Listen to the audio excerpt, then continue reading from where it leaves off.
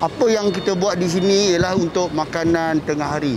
Makanan tengah hari maksudnya untuk lunch itu lauk pauk masakan Melayu lah. Untuk yang kita jual uh, sekitar sini untuk office ataupun mana-mana orang yang lalu lalang gagas yang lalu lalang boleh berhenti dan yang menginap di apartmen-apartmen yang ada di sini yang itu kita punya target untuk kita jual lah.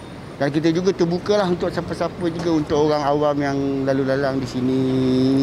Okey, sebenarnya kita apa yang kita tengok makanan kita selalu ditutup. Kemudian kita tengok tempat yang stall kita pun kita akan balut dengan tu dengan apa dengan uh, wrap. Lagi satu apa yang kita buat kita buat alaminate. Alaminate maksudnya uh, yang kita dah simpan baik-baik itu kita akan ni. Lagi satu barang yang kita buat semua barang yang baru sampai daripada pasar kita bawa sini.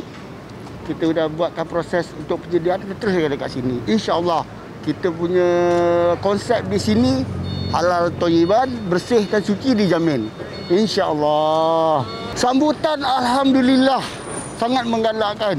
Apa yang ada sekarang ni pun sudah tinggal sikit-sikit saja lagi.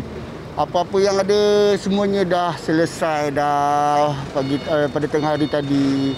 Adalah sikit-sikit lagi.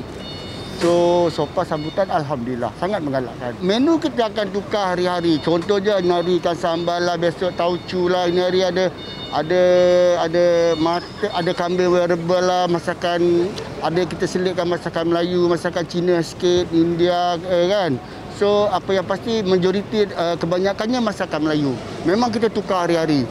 Sebab kita punya market ialah untuk sekitar sini kan? Jadi kita harus tukar hari-hari. Memang ada kita ada buat food, uh, food panda food delivery semua kita ada buat apa kita pun ada uh, sediakan tu bungkus eat food panda memang ada memang ada.